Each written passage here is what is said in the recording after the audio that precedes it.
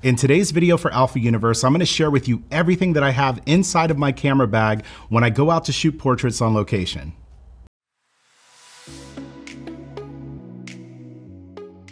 Welcome back everyone. My name is Miguel Quiles. I'm a Sony artisan of imagery and I'm really excited to show you everything that I have in my camera bag. So without further ado, let's get started. Up. The camera bag that I'm using these days is uh, made by Peak Design. I'll put the name of the bag uh, here on the screen because I don't remember it off the top of my head, but really nice bag, uh, carries a lot of my equipment. And inside of the bag, I actually have all of my gear kind of separated into these um, additional bags. So with that being said, let's start off with this bag here. This is uh, where I typically would have my camera and my 70 to 200 lens. So the camera that I'm using for the majority of my photo shoots these days, this is the Sony Alpha 7R4 and fantastic camera, full frame, super high uh, resolution, lots of megapixels, uh, which I love to see and have in my portrait work. Put that back here in the bag. And then of course, uh, my trusty dusty 70 to 200 f2.8 G Master version 2 um, optically stabilized lens, sharp. Honestly, if if if I was in a pinch, I really could just go out with my Alpha 7R4 and my 70 to 200, and I could probably get through the majority of the photo shoot. Um, there have been times where I have gone out to shoot, and I know that really this is the only combination that I need. And so that's part of the reason why I have these separate bags within the larger bag because I could actually just take this one bag and have my camera, my lens, and really just go out and do what I need to do without having to take the whole backpack with me. So inside of this bag, real simple, Alpha 7R4, 70 to 200 G Master. I'm gonna jump over to this bag now.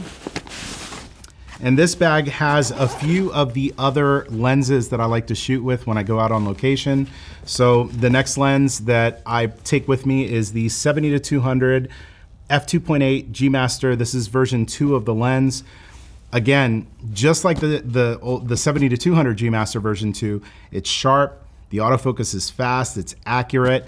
Um, really between these two lenses, anything that I run into, I'm able to capture. If I want to capture an environmental portrait, get more of the scene within the photo to tell more of a story, I can do that with the 24 to 70. If I want to get more compression and kind of pull the background in a little bit closer to my subject, then I would use my 70 to 200. So really between these two lenses, I can do like 95% of anything that I would ever want to do. Uh, but there are some situations where you want to get maybe a little bit more background blur than what an f2.8 lens could provide you, but you still want to get a really nice sharp portrait. And so in those situations, I break out this guy. This is the Sony 85 millimeter f 1.8, so full frame lens. It's a lens that honestly, I thought for the longest time was a G series lens and it turns out it's not. Man, it's sharp, it focuses fast, it's lightweight. So if I'm going out and I don't want to carry a, a, larger lens or a heavier lens, I can bring this little guy with me and get stunning results without too much effort. Put that back here in the bag. And then here in the center of the bag, so this is the HVLF 60RM Speedlight. And this is something that I would take with me regardless of whether or not I planned on shooting with available light. Um, I've got something here that I use all the time when I shoot with available light, which I'll show you in a moment. But I always like bringing a speed light with me because there are times where maybe I just want to add a little bit of fill flash, or maybe I just want to add a little bit of something to the person's eyes uh, in the form of catch lights, which I have a lot of videos here on YouTube talking about that. If you're curious about what catch lights are, you could check out one of those videos It'll give you some more information on that. But I love to have a flash that I could actually use to be able to create those catch lights, create that fill flash. Um, this flash is actually very cool too in the sense that you have a flash, but let's say if you're using this in kind of like nighttime low light situations, um, there's actually also a really bright set of LEDs that's built into the, uh, the front of this flash. So um, you can see it's pretty powerful. It's great for shooting video. If I'm trying to get any behind the scenes videos for Instagram or YouTube Shorts or TikTok, whatever the case might be. Um, it's really nice to have a flash that actually also has an LED light. So this is something that I take with me for pretty much every location portrait session, especially if I'm shooting with available light. Let's put that back here in the bag. And then um, I'll just put that in there like that. And then uh, here in the center, I have a, another bag, and this is kind of like what I call my MacGyver bag. Um, this is a bag that, depending on where I'm going, what the shoot's gonna be about, I'll put different things in this bag that potentially might be helpful uh, for that photo shoot. So some of the things that I pack in here are things like tape. Never know when you're gonna need to tape something up, so always keep that handy. Um, I've also got a uh, rocket, or actually it's called a blower baby made by Nitecore. And uh, I'll, so as you can hear, it blows air. This is what I use to clean my camera, my lenses, any electronics that have dust or anything on them. Uh, very powerful. Uh, doesn't damage your gear or anything like that. I've been using it for a while and so long as you're careful with it, uh, it's powerful, but it works really well. And then uh, also another accessory that I got here from Nitecore is, um, it's kind of interesting. It's a unique little product, but um, this is the uh, SCL10, and this is actually a power bank. So I use this to sometimes charge my camera if, let's say I have a long day of shooting, my batteries are dying. Um, I use this to charge my cell phone, things of that nature. So it's really handy just to use as like a, a power brick. But it's kind of unique in that you also have this which is a LED light that is built into this power bank. So at times I tend to use this if I'm shooting in low light situations or if I'm out at night shooting portraits. Sometimes I don't see what's inside of my bag, so I actually just use it to light the inside of my bag to see where my gear is at. Um, again, you could use this for um, lighting a person's face in low light situations. Um, so it's got a lot of functionality, a lot of use. Uh, you could change the color temperature of it as well, which is handy. So I always keep this in my bag. And then uh, I've got a bunch of these inside of my bag. These are little uh, miniature A-clamps. And these are super handy if you're photographing somebody who has clothes that, let's say, maybe don't fit them well or just you know, they're baggy, whatever the case might be.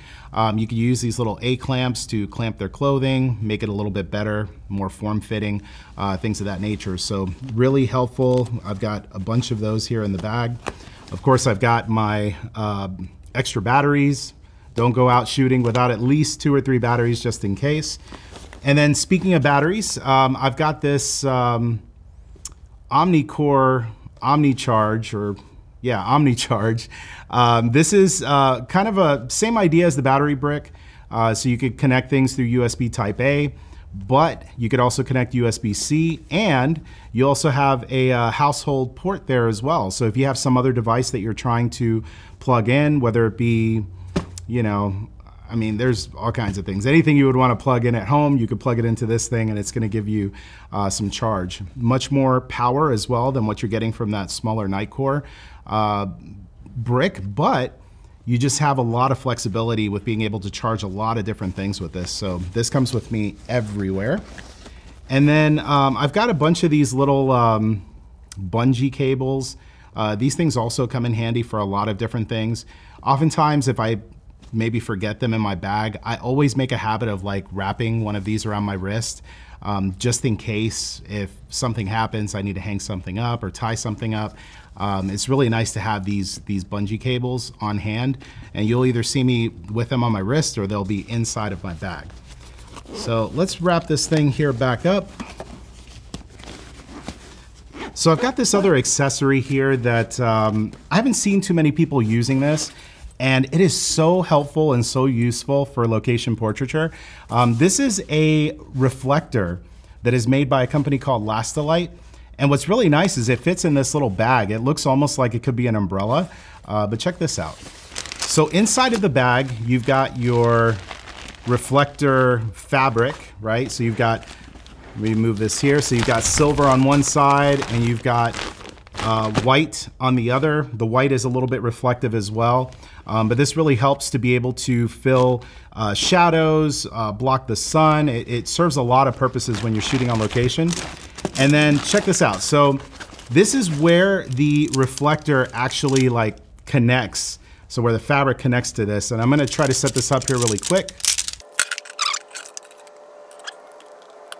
All right, and here we go. So we've got the, the ring kind of set up here and we'll take the fabric and basically the fabric just clips on.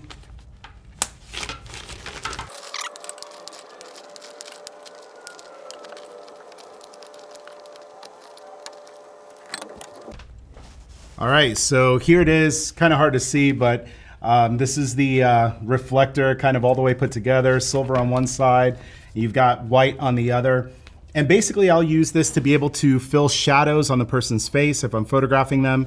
Use it to uh, kind of block light as well. Uh, very useful. And then once you're done with this uh, reflector, you can basically take it, put it back inside of this uh, little sleeve, this little pouch, put it back in your bag, close it up, and you're back on your way home or to your next location, whatever the case might be. So this is what I take with me pretty much all the time when I'm shooting portraits on location. If you have any questions about the gear that I have in this bag, let me know in the comment section below. I'll answer any questions that you have. Also, let me know because I'm curious, what gear do you carry with you when you're shooting portraits on location? Leave that in the comment section as well.